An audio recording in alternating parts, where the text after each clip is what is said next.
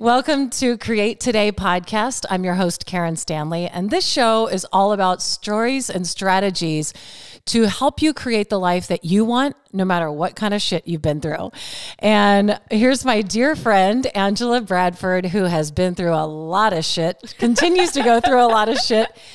And I'm so excited to share her story and get her on here so that we can help others that are going through some of the same things that you've been through, some of the same things that you're going now that have allowed how, you know, to help us figure out how to move through the hardest things. And one of the biggest things we're going to be talking about is discipline because she's one of the most disciplined people I know. She just doesn't negotiate with herself. She just makes the calls, does what she needs to do day in, day out, day and consistency.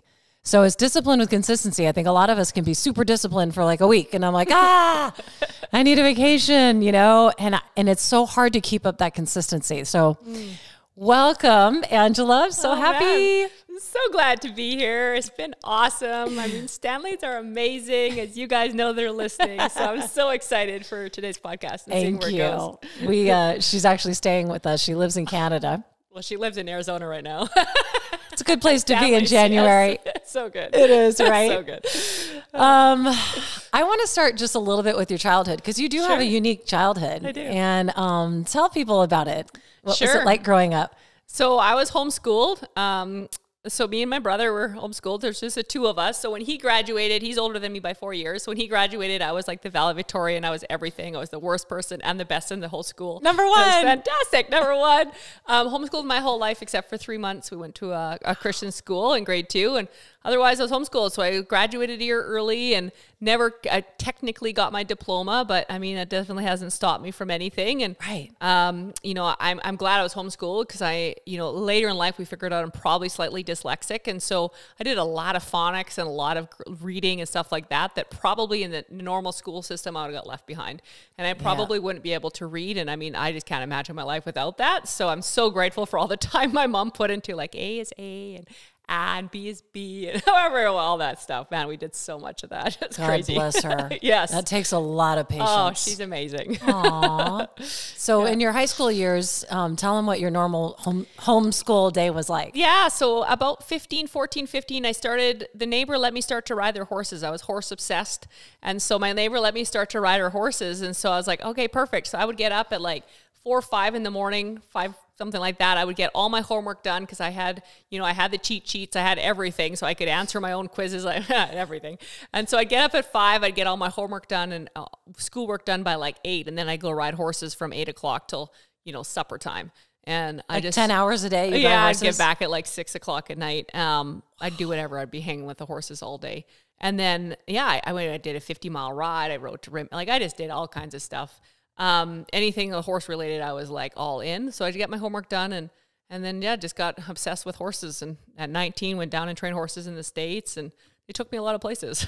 wow! so, so yeah. that's how you first came down to the states. Was a horse? What was that horse job like? Um, so I was training horses up in Canada right away, obviously, and then um, there was I don't know something popped up online or something about training horses at this camp in Minnesota. And I applied and I was like and they called me and they said yeah we got like 3 or 400 horses and we need them started. And I was like okay that sounds great. So I said I can come down. And and it was kind of crazy when I think about it cuz they had no idea who I was. And they just hired me like a little 19 year old Alberta girl coming down. And um, so I drove down in my little 85 S10 and with my dog and we went down to to Minnesota. I didn't know anybody there. We just moved to, you know, this this camp and it was quite the experience. It's about 3 or 400 acres um, this camp is massive camp and they'd have like for families in, or for kids yeah kids so they'd bring in like probably i don't know we, would over be we overrun every week we probably had three to four hundred kids a week run through this camp and um, it was funny because I was there to just start colts. I really wasn't anything to do with the kids.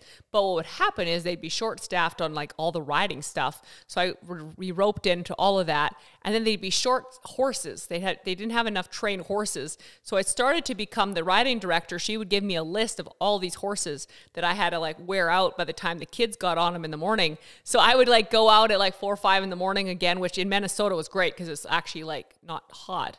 And so I'd go out and I'd ride horses and just like gallop them for like miles and miles. And as they got better, better shape, you'd have to ride them longer and longer. And I just, I was in really good shape too, because I was riding like hard all, Wow. all morning. And then by the time they got in, the kids would get on these horses would be like just exhausted. So They, wouldn't buck them off. they would be great for the kids and they just like ride them and then the next day I do the same thing. And so we had a list of all these horses that were like it was really fun. They were they were fun horses. They weren't like bronchi, but they were just like high energy. So I They're just young? like just like ex barrel horses and barrel racing horses. Anyway, Oh. it was fun.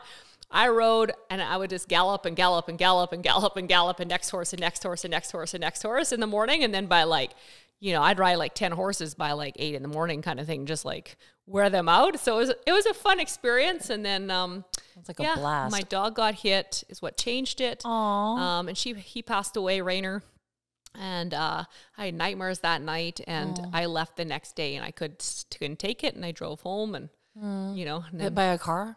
yeah, yeah. On the was sad. ranch? No, someone driving by. We were right on the highway, and you know, life happens. And um, most of my dogs have got hit by something. It seems like so. It's not like I was first time that's happened, but it was my first dog.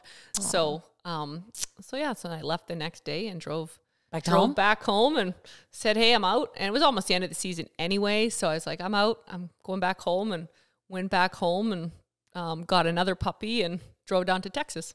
Oh my gosh. What was in Texas? Um, I just needed to get away. But why that's when the- Texas? I had a friend down there. Was- Okay. and it seemed like a long drive. So me and little Mayas, bit a Jen, little eleven week old puppy or eleven, I think eleven week old puppy who went down to Texas.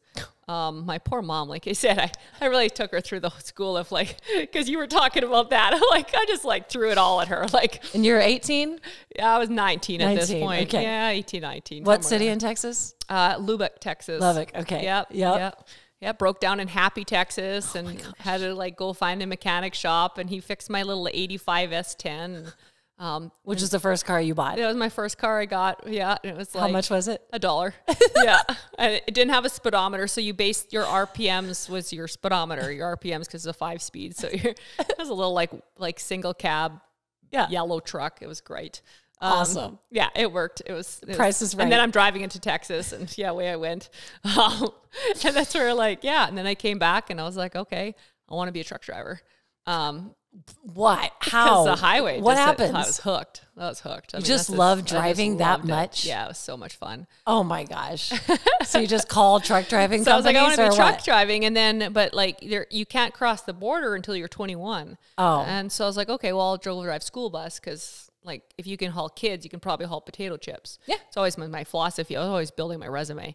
so I was like, okay, so I got it, like, got trained as a school bus driver and became a, a bus driver at 19, and. Never had been on a bus as a kid. Of course, I was homeschooled, but I started driving a bus. You know, it's kind of funny. Oh my gosh, that's hilarious. First time on a bus, I'm the driver. uh, Um, is funny. Yeah, kindergarten and grade 12. And so, and then I got my class one at the same time, which is your CDL down here. And, Okay. Um, I failed like five times. It was the hardest thing I ever did.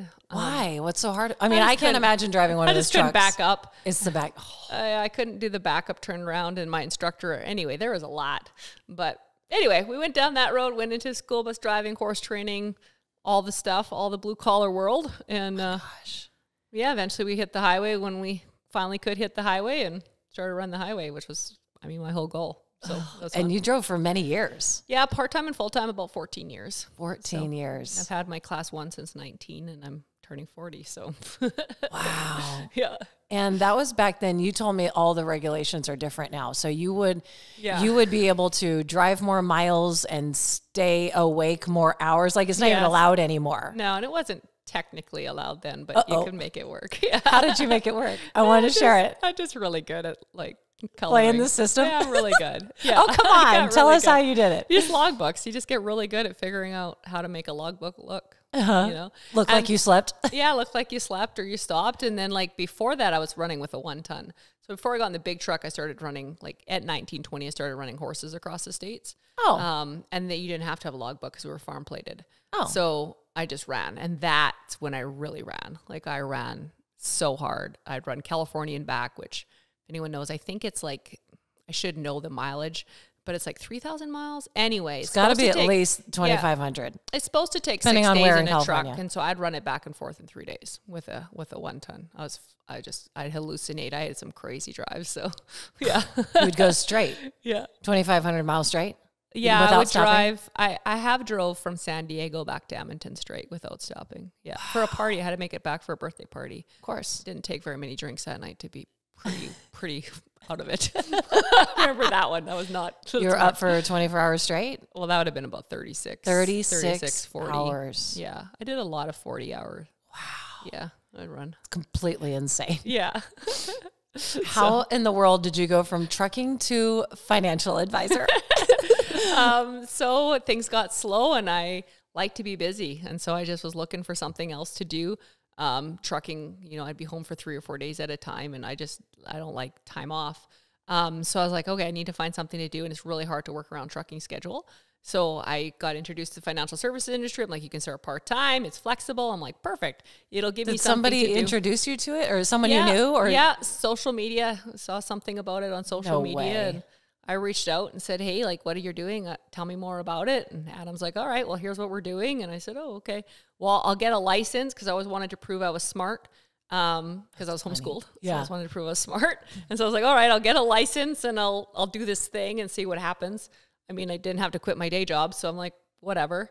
Um, so I started doing both, and yeah, then I fell in love with what we do to help families, and within a year, quit truck driving, came full time, and definitely have never looked back. So Wow. um, and that's been how long now? six years full time, just over six years full time. what I 2016, I, quit trucking.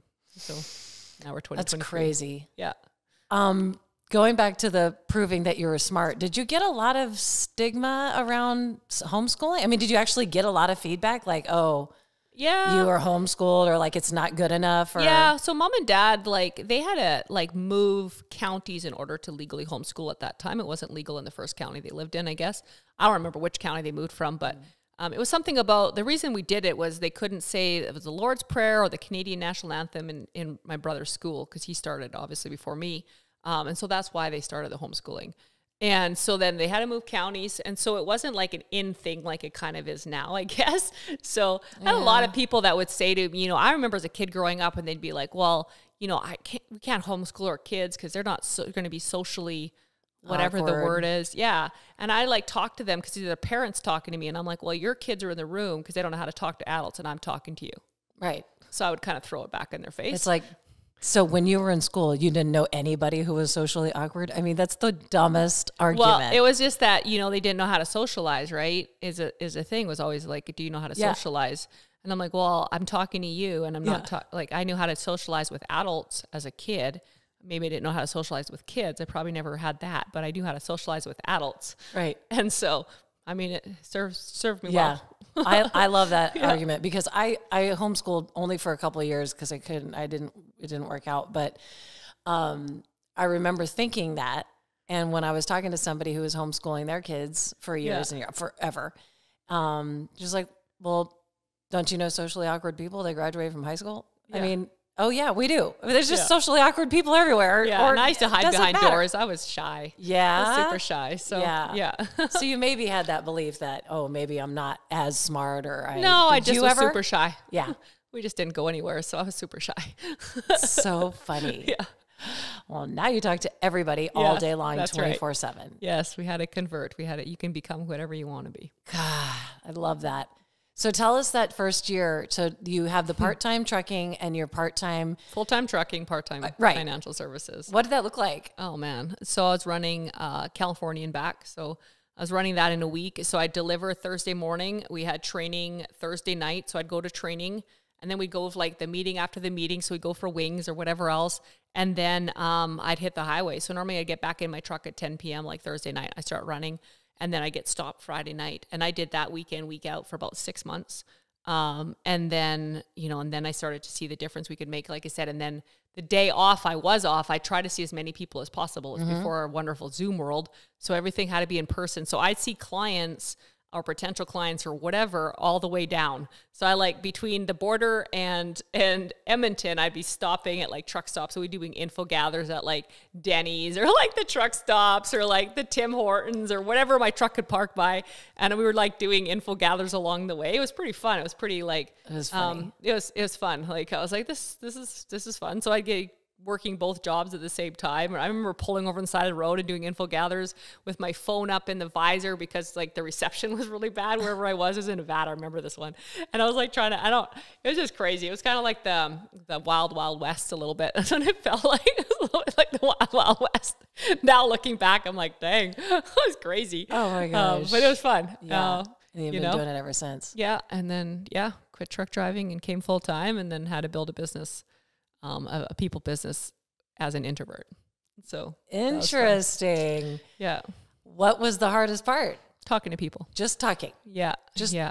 calling people and talking to you. Yeah. Like this stuff was not who I used to be.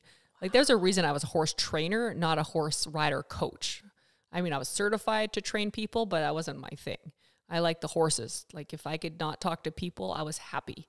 Um, And I mean, school bus with kids, they're different than adults. So there was a different relationship there, I think, too. And that was only two hours a day, so I could handle that. Uh, but yeah, when I went out, I had to go out and build my business, cold market, go talk to strangers um, and sell them on a dream, I guess, um, when I was still not sure what I was doing. so got a lot of rejection, Interesting. which is fun. I yeah, so it is fun. So so I love talking to people who have worked on the door to door, any kind of door to door sales, because they say that same thing. One more no is one more is one more you know one Right. more step to a yes or whatever Right. it is like the saying that they all say. Yeah. All right, I got to know, so I'm closer and closer and closer to a yes. I mean, did you did you have to? How hard was building that mentality? I I don't I Well, hate don't- rejection. I don't know that I ever actually thought of it that way, to be honest. Like I tell my people that, but I don't know if I ever actually thought that I didn't way. believe that. Um, I just had to keep working. I don't know that I ever really like I think where I'm different on some things is I don't really like you said, I don't negotiate. I don't really negotiate. It wasn't like, oh, I have to get so many no's. I just need to win. I just want to win. I just gotta win. I gotta make money. I gotta like protect my family. I gotta save everybody. So I, I don't know that I mean thinking back, I was also highly competitive. So there's a side of that. Mm-hmm. Um, but I don't know that I was like, oh, one more no, yay.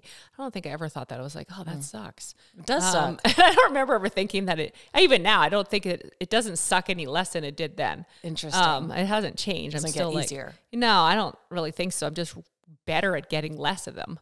But when they get them, I'm still not liking them. I don't like when someone says no um, to anything. Like, can we have ice cream? Don't say no to me. Like, I'll never say no. I know. I, I know. I love these people. Um, We always get ice cream. when Angela's here. I come to Arizona for his ice cream. though.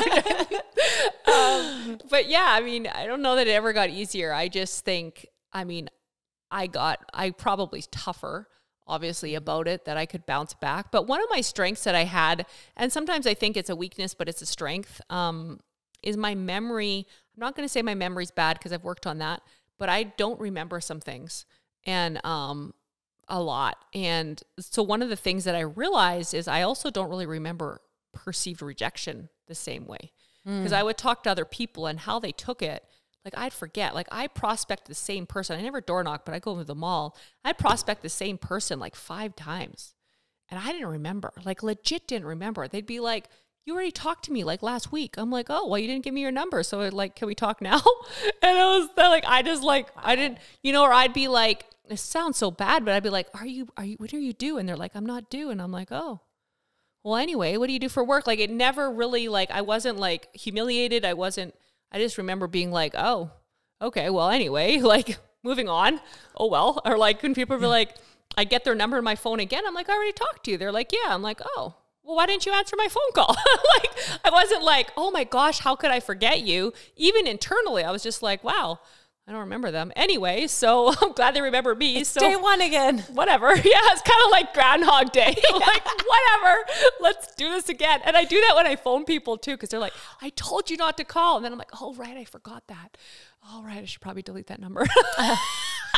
Text only or yeah, or something. like. I forget. I just forget. Like, I'm like, oh, I forget. So sometimes, like I said, I think that's like a good thing. Well, it has been a good thing in mm-hmm. some ways that my memory is mm-hmm. maybe not what it could be. And, and I'm working on that. Like I said, I'm not trying to say my memory's bad, but like I don't get the same feelings I think as some people mm-hmm. do that like really haunt, haunts me for a long, long period. I'm just like, oh, well, that sucks. Anyway, moving on. That's interesting. Um, because I'm 180 degrees, like as bad as you could be, you know, or just so hard on yourself, or so much shame, so much guilt, like just you know, like just growing up, you know, in the past. Right. So it's really Right. interesting to hear somebody who just Yeah. doesn't even feel bad if they forget somebody. I, I would be, I would be like so embarrassed and just Right. so shame and so so guilty. I'm so sorry that I offended somebody. You know, my Yeah. younger self would be. Um, I want to go back to the. You started. when You needed to build a business. I was like, let's talk about consistency and discipline. Okay. What you already said was, I want to help families. I want to save everybody. I want to save my family, help everybody's family. I want to save everybody. Yeah. Um, I want to hear more about that. Like, what you're doing is not a job. It's not building a business. What is it? It's changing the world. But I'll start crying. I know, right? I will too. Yeah. It's changing the world. And I, I mean, that's Explain what you are. What? How are you helping families? Just because so. people um, might not know what a financial planner is. Yeah, so basically, I run a financial company. Yeah. We partner with about 50 of the top financial companies in Canada, 150 in the States, and we just find the best option. That's like the nuts and bolts. But what I love is we're hard into personal development. We're hard into making people better people. We're, we're big time into like you becoming the best version of you. And the money and what you get and all that stuff is a byproduct of who you become. And we never out earn, we never outwork, and we never do anything outside our identity. And so if I can help someone change their identity like my identity is changing, then they can start to completely change their life and completely change their family's legacy forever. And so that's what I love. I just love that we can like completely change someone's legacy. It's not about like, oh, they can make a couple hundred thousand or they make a million dollars or whatever. I mean, that's great. I love training people to do that, but like it's more like I mean, I shouldn't roll my eyes, but it's more like what does that do for your family? What kind of impact can that make in your future family? What can you give back? What kind of like difference? Everyone wants to make a difference in the world. Well, how could you do that? And like this is one way that we're able to just like completely transform. Like I think of some of my agents that, you know, the business wasn't for them, but mm-hmm. they learned how to like personally develop like affirmations. And so now they have sticky notes in their house. It's like, I am beautiful. I am whatever, the mm. I ams. And they got two young daughters. I think of one of my agents that's very mm. specific on this. Well, the business didn't work, but man, what she's showing her kids, man, how much of a difference is that going to make in the next generation? And so that's what, yeah, that's why like it doesn't feel like work. People like, man, you work all the time. I'm like, well, not really, but like, um, but it doesn't feel like work even when I work because it's like, man, you're changing lives. You're making a difference. You're making an impact. I've never actually never done a job um, in my whole life that I, I cared about the money. Uh, never once did I ask. Like I remember all my life, I've every job I've done lots. I've never like really asked what I get paid. I don't really care. I'm like, do I want to do the job or do I want to do the thing or yes or no? Don't really care about the money. Um, and so that's the same thing here. It's money's money's like I said, the byproduct of who you become and what you do to help others and the value you give back. It's a tool. And it's yeah, it's just it's just um, reflection of that. So yeah, I just love that. So I guess like there was no negotiating. It wasn't because I wasn't doing it for the money. So I think a lot of times people do things for the money, and I'm not saying money like uh, money's freaking great. We got to make money, but like when you do something just for the money, I don't. I'd have a hard time working through the rejection and working through the no's and working because like I was making. I like now. Like I don't have to work and I'd be fine. I might groceries would be on my table. I have a roof over my head. My I'd be fine. Um, so like what you need something that drives you more than just like, oh, I need to make more money. Well, no, that doesn't drive you through like the rejection or through the days you don't want to get out of bed or the days, like you said, the discipline doesn't want to come in because that's just not strong enough for most people. Like, what does the money do for you? Yeah, that could drive you. But what just having like, oh, I just want more money, I want a bigger house, or like, no, that doesn't drive most people for any length of time. It's not Right. deep enough to drive through the the lack of discipline. Right.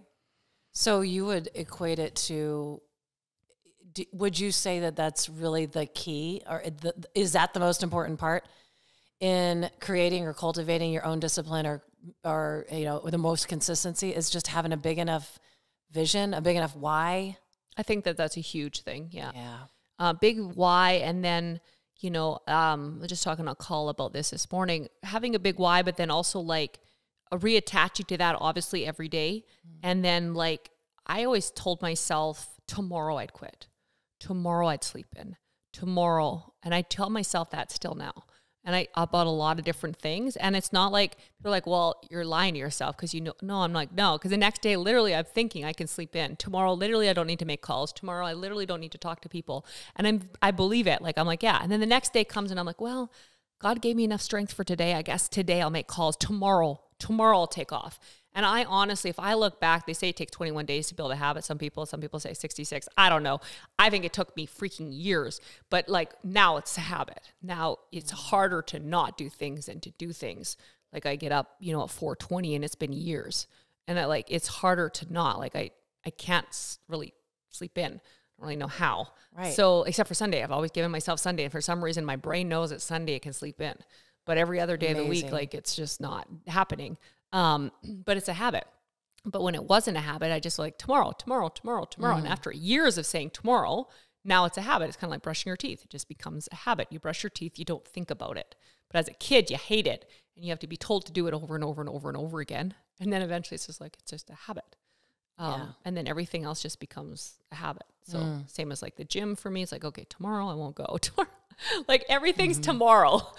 Interesting. and that that's really worked for me to really start to train myself to just do one more Mm. day and then you know one more day becomes one more day and, and then eventually it just becomes routine Wow.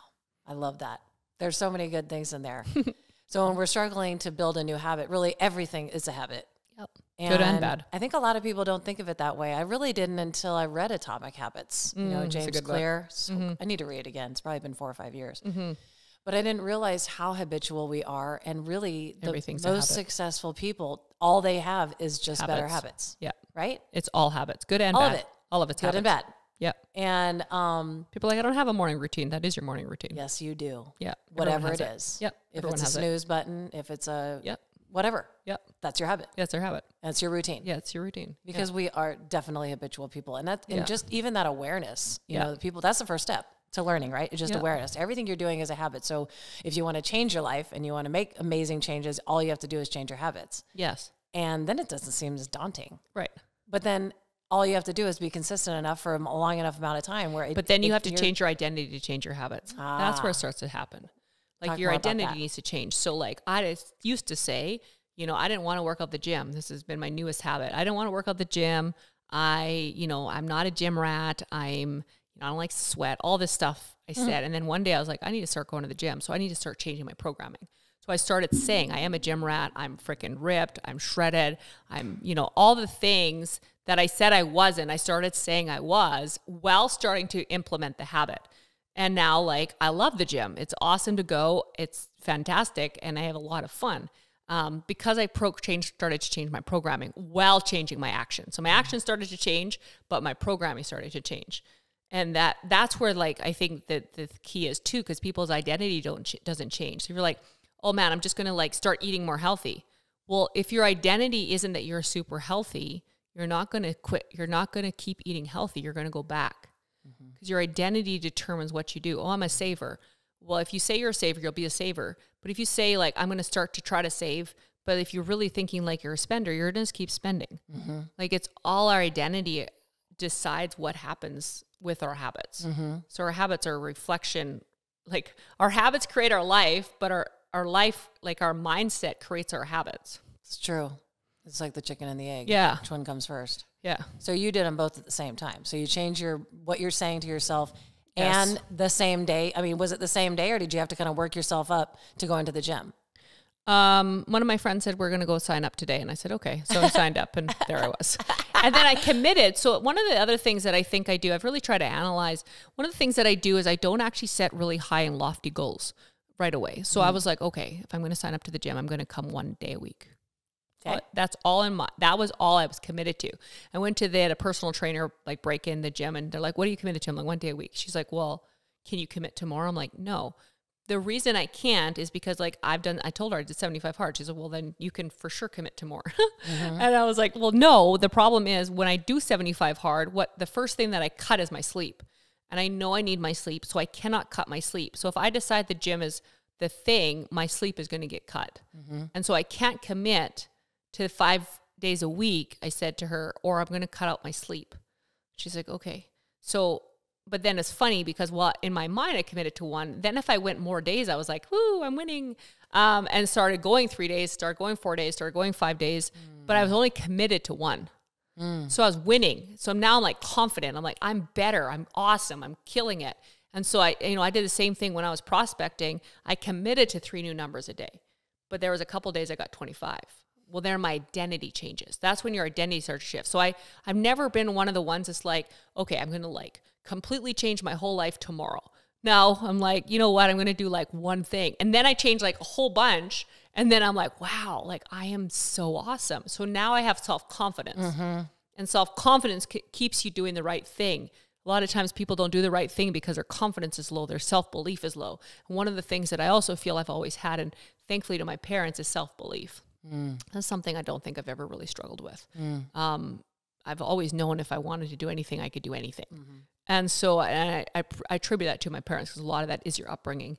Mom and dad didn't understand anything I really did. They didn't. They're like, "What are you doing now?" Um, alien I don't think this raise? is good. Yeah, but they never said I couldn't. It was just like I don't know that truck driving by yourself as a 25 year old in downtown LA is probably the safest thing.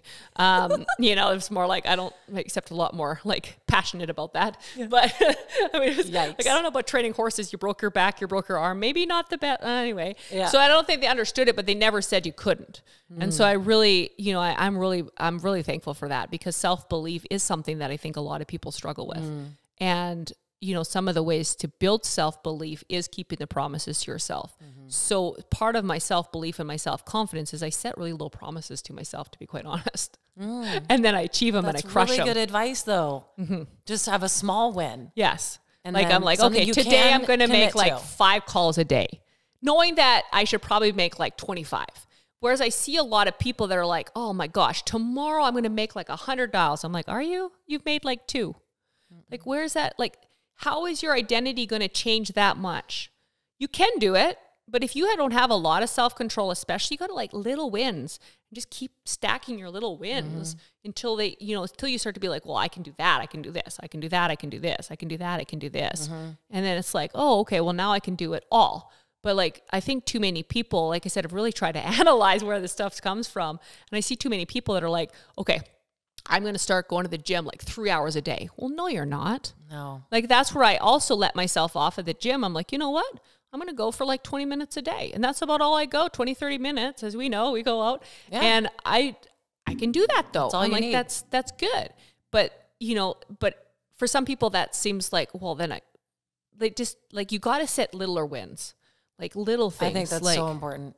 Like, okay, you know, and I know I've I got a lot of friends that deal with um different addictions and I, am a very i was just talking to one of them today. I'm a very addictive personality person myself good and bad i guess. And so like one of the things for that is like little wins like just you know tomorrow you'll do whatever. Like i it's just little wins. I just think people try to go too big too fast.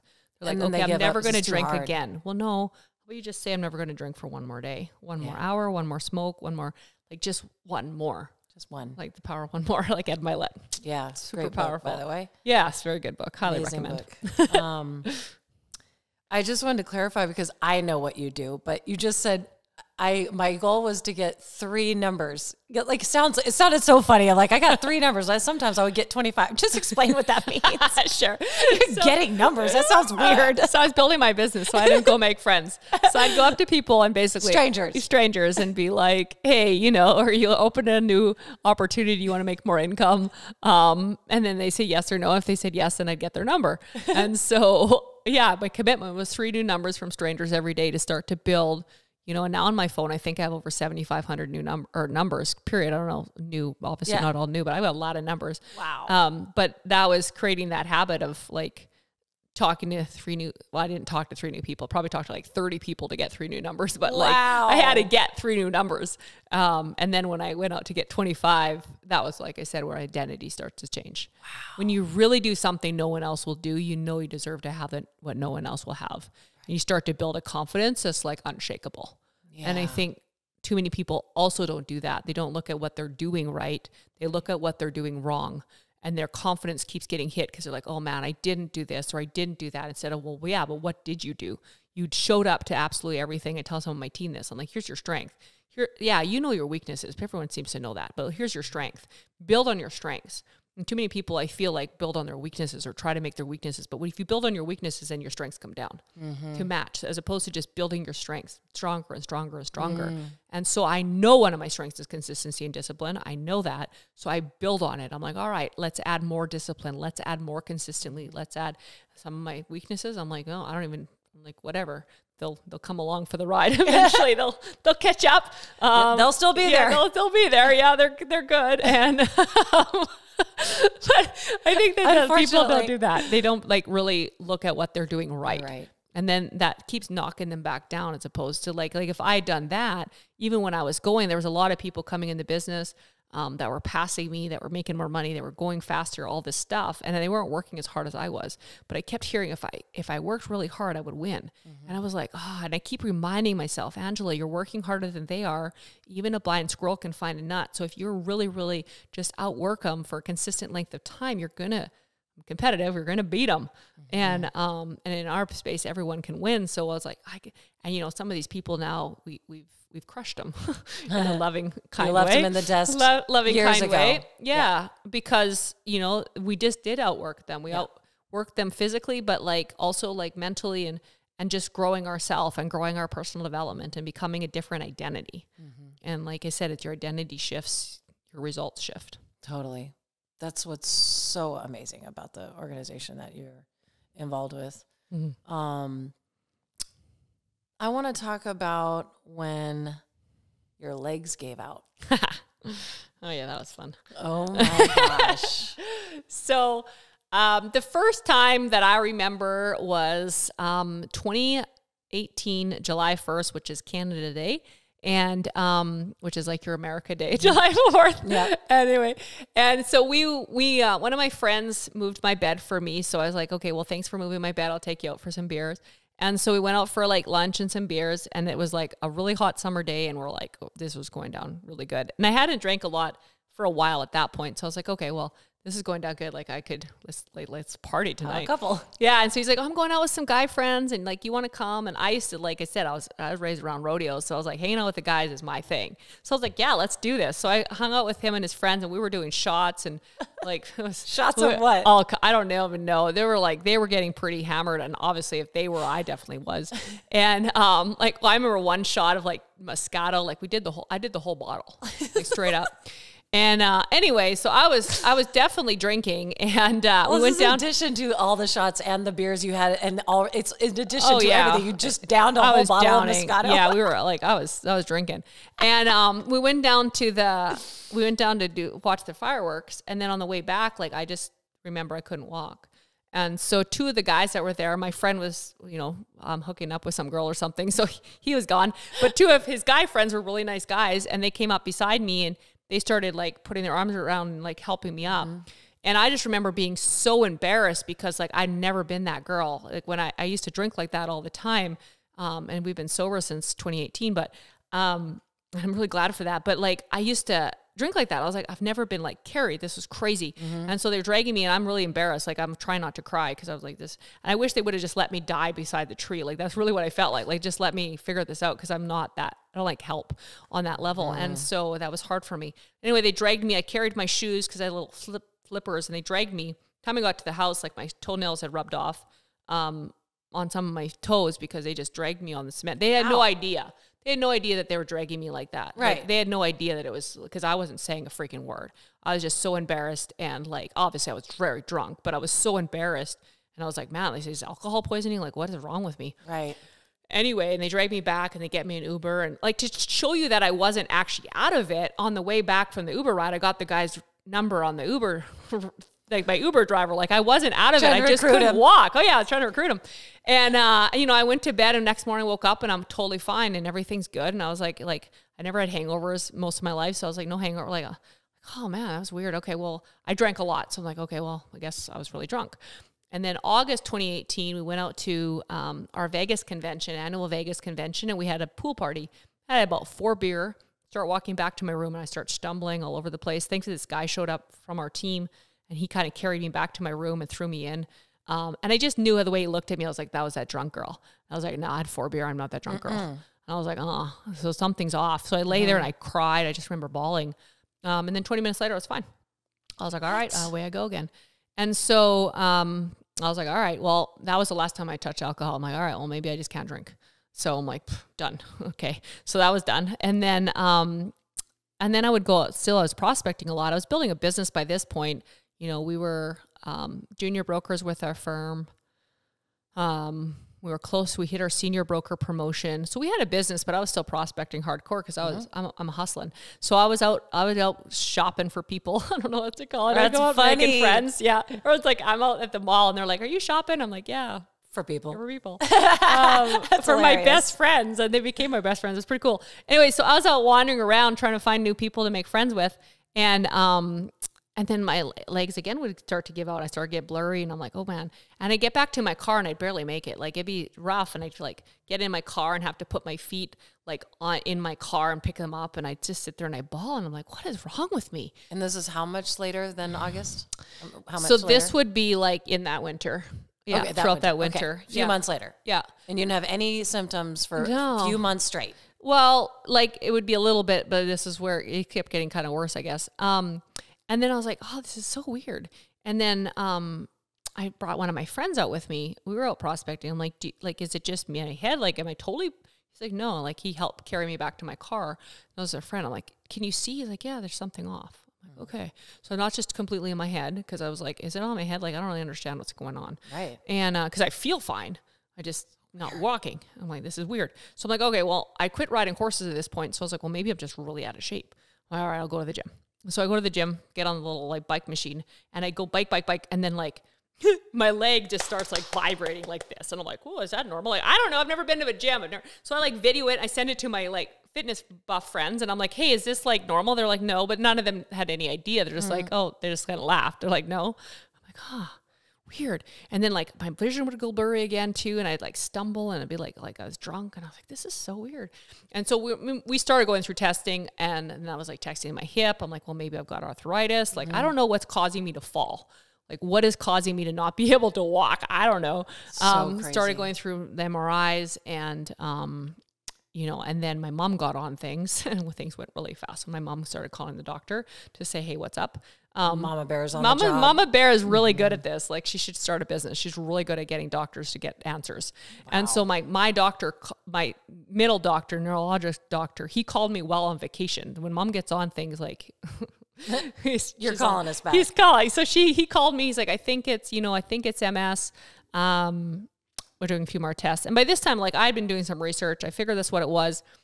And so yeah, June 2019, um, got diagnosed with MS, and May 25th, 2019 was the last time I've been able to wear high heels, which I'm okay with. I'm good without it. Now I've actually gone from like dress boots to like runners. I'm like, why do I even wear dress boots? Like it's just runners all the time.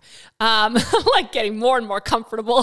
like wow, I don't really care anymore. Just no, all about comfort. Be careful. Um, yeah, be um, comfortable. Yeah, just like it's funny because you just don't really care about stuff after a while. There's more important things to worry about. Totally. And so and tennis yeah. shoes are super cool. They look, yeah, they look awesome. Now. Yeah, thank you.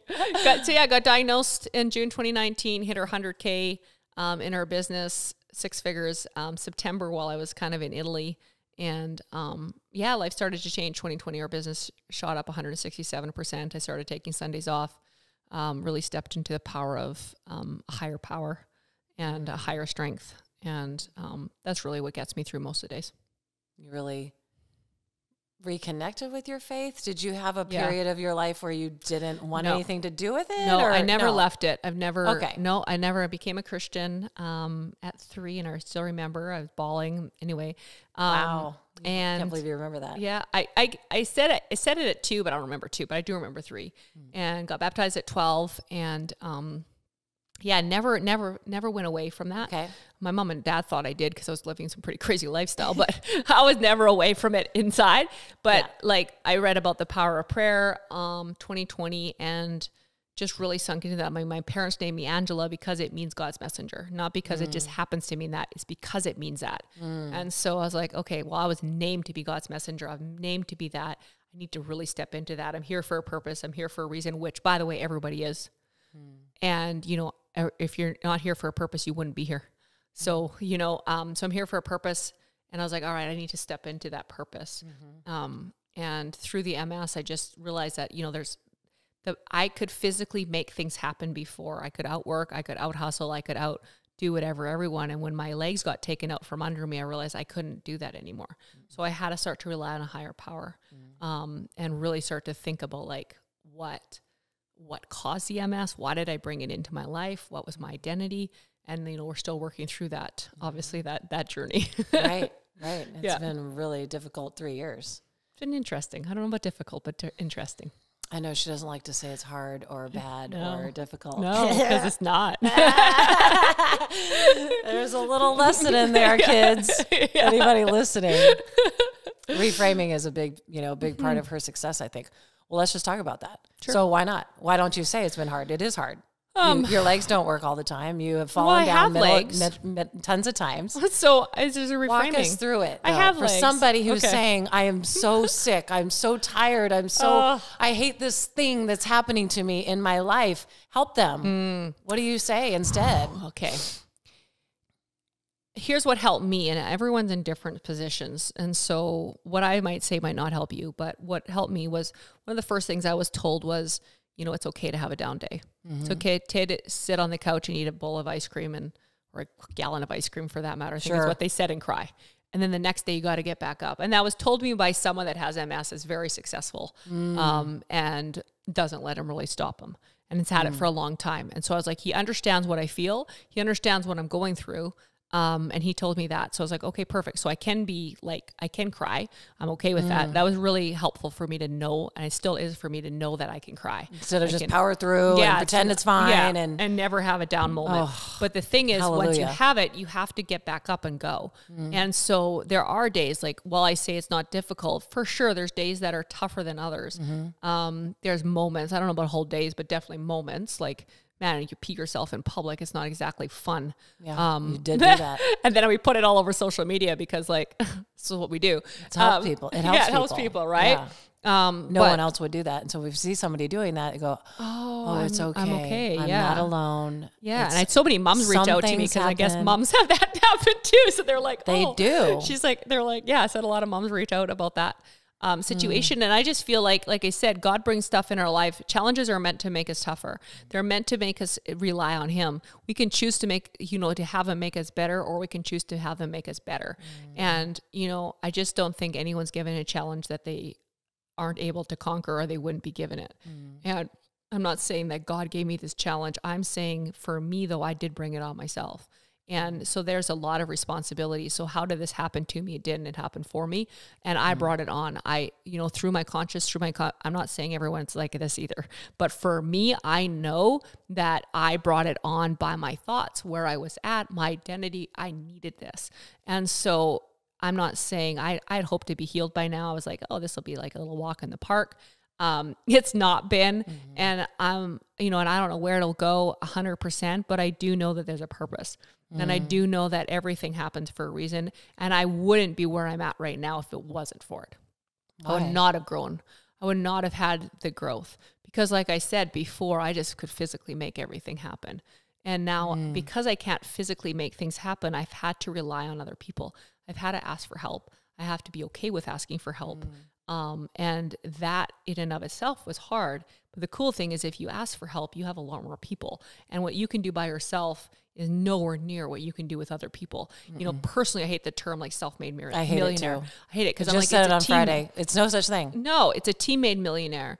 And it's Always. like it's always like and so now like I saw my team, my team wouldn't be the team they are Mm. if I wasn't the person that I am because of what I'm going through. Wow. You know, and and they're freaking amazing. And because of that, but they they're there for me, my friends, like people like you. Like I wouldn't connect to people the same way. Mm. Through your weakness you connect to people. Not through your strengths the same way. One of my favorite sayings is never deny a person the opportunity to give. Because if somebody wants to help you, they want to. Mm-hmm. Yes, they they want to. that. They need it. They want to feel good about it. They want Yeah. to help and should never, ever deny anybody the opportunity to serve. Right. And it's so hard for some people to ask is. for help. It's like It I don't. I And want to be one of those- independent. I was one of those Yeah. people. Yeah, I used to Um, be too. And I still, I'm, I'm, I'm sure I still have that side of me for sure. But as I have to get help sometimes, so Yep. I've learned that I have to. So when it becomes I have to, you just do it. Do. And, you- then the more you do, the more you're like, everyone help doing everything. Like I'm good. this is awesome. awesome. like I used to have to carry my bags all the time. Now I'm the first one on the plane. I'm the first one off the plane. I'm like, this is awesome. I'm just gonna make up a disease that I have, so everyone will do everything for me. right. oh man. kidding. Won't be yeah. that. No. I love People do that. do that though. They manifest the disease and Then it happens. it, yeah, and yeah. it happens. Oh, 100 Um, percent. yeah, and it's like Made up their mind that yeah. they're sick and they stay sick forever. Yeah, exactly. Mm-hmm. Like our mind is just. I guess that's the biggest thing. Like I read "Becoming Supernatural" Mm. um, right after I got diagnosis, and how we stress ourselves to the point of an autoimmune. And I'm like, yeah, I totally did that. That's why I say I bring Mm. it on myself. Like we do that. We bring on stuff ourselves all the time. But the cool thing is, if we bring things on, we can also get rid of them. Mind can also get rid yeah, of it. yeah. I love that. Um, I forgot what I was going to say. I'm I'm studying with Marissa Peer. She wrote a book called "Tell Yourself a Better Lie" Right. Because it's exactly everything that we're talking about right now. Your mind created it, Yeah. and so your mind can also take it away Right. and solve it and heal it. And um, it's really powerful. She's been doing this for a long time, so she has a lot of evidence in real life of people, you know, um, breaking away from de- depression and Right. releasing their anxiety and releasing their addictions and they're releasing their, you know, drug addictions and Yeah. alcohol and smoking, all of it. Yeah. Um, anorexia, bulimia, so many amazing things. Mm-hmm. Um, but I, I wanted to, oh, I wanted to explain what you're actually doing. You were literally working seven days a week, All the time. 16 day, 16 hours a day, Probably. like all, the time. day, sun All up to sundown to midnight. Yeah. Yeah. So that's what she means is like that she literally worked every All second of every day. And so I was really happy that you decided to take Sundays off because I Yeah. think uh, hopefully that maybe I was a little bit of a you need to take a day off. You need to rest. You need to like. I said that when I first met you. I was like, "Oof, yikes! You're gonna burn out. I'm, I'm afraid for your health. I'm afraid. You know, I want you to be healthy and happy and Yeah. and have a rest day. You know." So then she finally did. So I'm really happy about that. I'm glad. Um, and you're also being more intentional about just being with people and just just creating memories and creating relationships, that meaningful relationships. And when did you start creating that intention? When did you intentionally say that's what I'm going to do? Um. Was that a, was it an intention or like a Well, our word moment? for this year is present. Oh, I love that. Um, and I mean, it's kind of been there for a while, but I don't. I think it's it's more recent that's really getting forefront. Um, 2020, like I said, reading the book, and the biggest change was like I was like, well, if I don't have my legs, and we want to triple our business, which we didn't in 2020, but we did a lot more than most people thought we could have. Um, and so I always have the big vision, but I was like, all right, I need to rely on a higher power. And, you know, I need to have- rely on a higher power, which is prayer.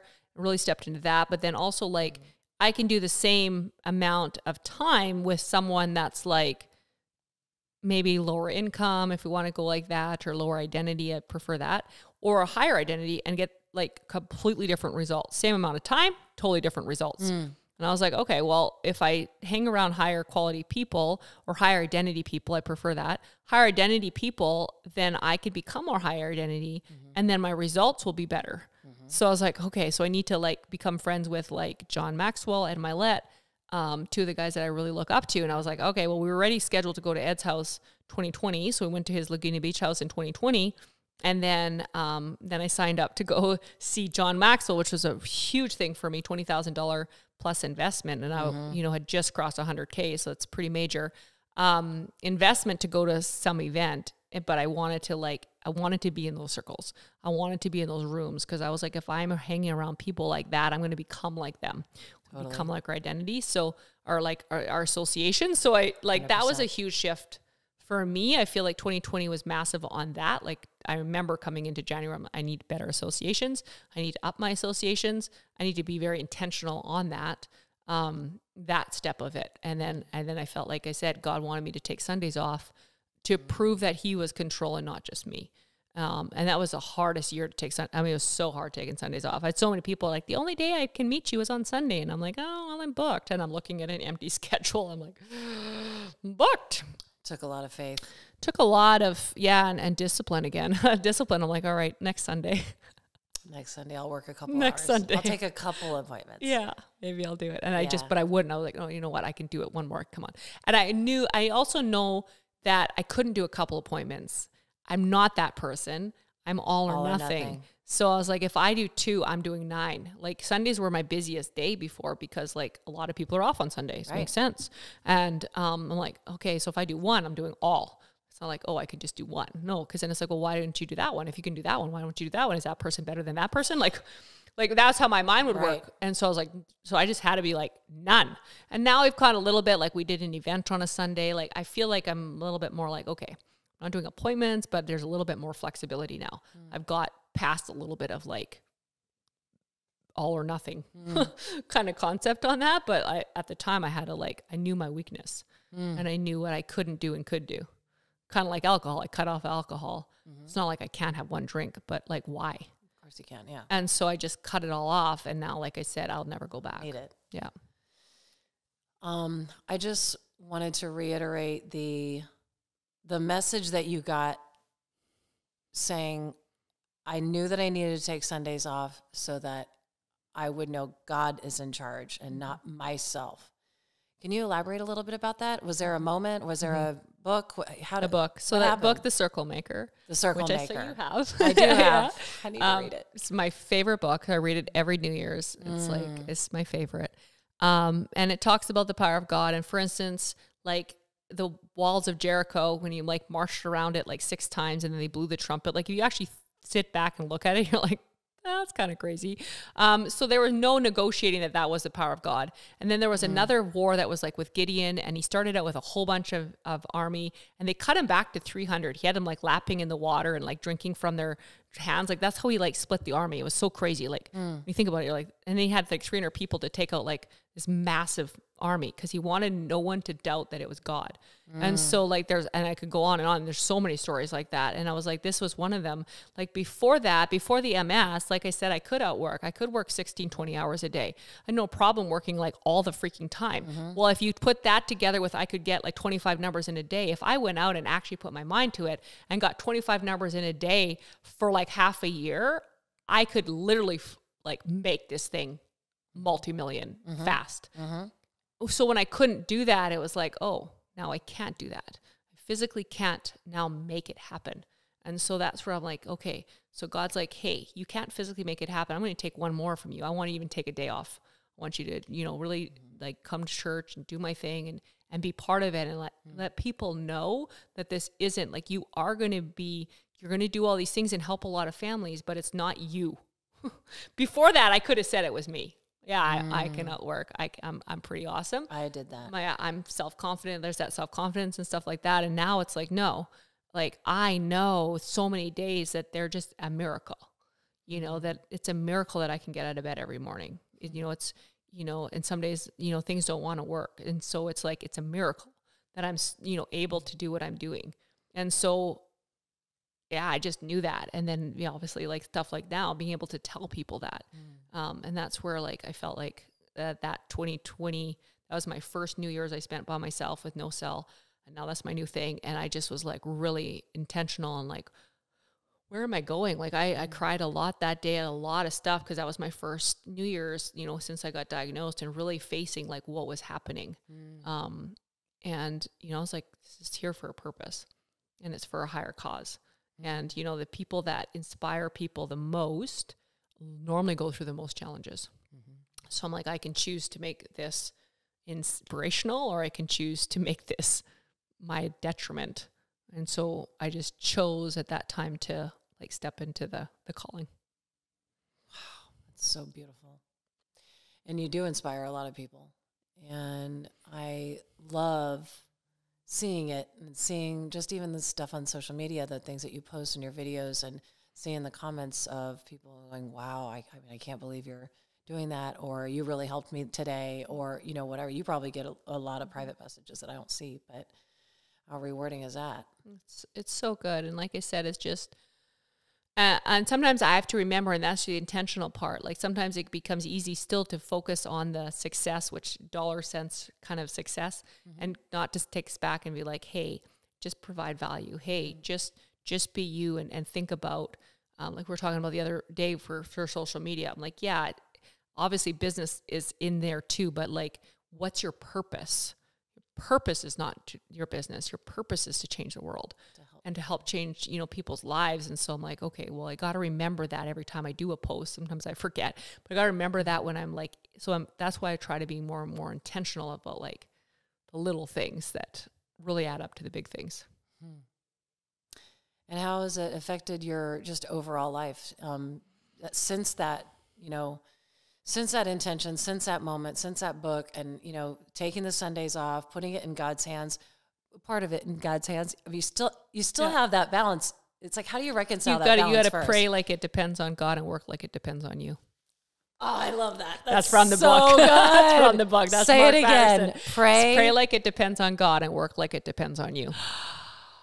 My God, just so good. It's I told so you it's a good book. I gotta read the freaking book. I bought it so because good. you told me to. I know. I haven't read it yet. so ah, good. There's so many books I haven't read. I told John I'm gonna take a year off and I'm gonna read just every read single books. book I've bought.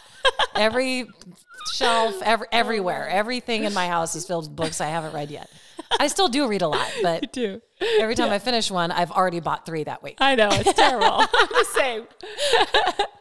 Um, oh man, awesome! I yeah. love that. That's so beautiful. So, what has what's been the biggest difference, like since this new way of reframe or new way or new, I don't know what to call it, giving up praying like it, mm-hmm. it depends on God and working as like if it depends, on, on you. you. What's the biggest difference? How has it been different? Um, I just see miracles happen, I guess, mm. you know, and things that like my life where it's at now.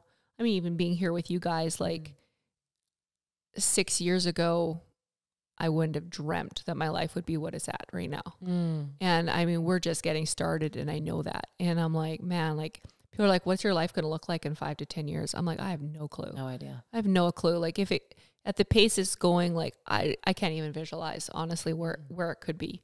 Um, and you know that that's that's really cool. Um, something that I'm really working on, like I said, is just relying more on the higher power mm. and having more of a peace instead of. I do still try to make things happen mm. instead of allow things to happen and it's such a fine line for sure mm-hmm. but you can feel the difference inside mm. might not be an outside difference but there's definitely an internal difference mm. and so that's something that um, i've been working on changing my emotional home and so becoming different inside mm. like you know outside had to change you know three years ago or whatever now the inside is working on changing along with the outside. Aren't we all? yes. Always working on always working on changing inside yes. all the time. Yes, growth, yeah. intentional growth. Intentional growth. Yeah. I love that. So beautiful. If someone listening is um, suffering or working through a an autoimmune disease, mm. what advice would you give them? A uh, couple pieces of advice, I guess. Um, step into like I don't know, try to figure out, I don't know how to put this, try to figure out where, you know, where it came from. Um, for me, that's like been helpful. Mm. And, you know, and then, and then work on like a couple things, obviously your mindset. Mm-hmm. What, what can you do to improve your mindset? Is it, you know, surrounding yourself with people? A tip is to surround yourself with people that have the same thing you have, but are positive about it. That's really helpful. Mm-hmm. Um, and surround yourself with, like I said, good books, good audio, something that makes you lift up. At the same time, though, like I do feel the gym is awesome.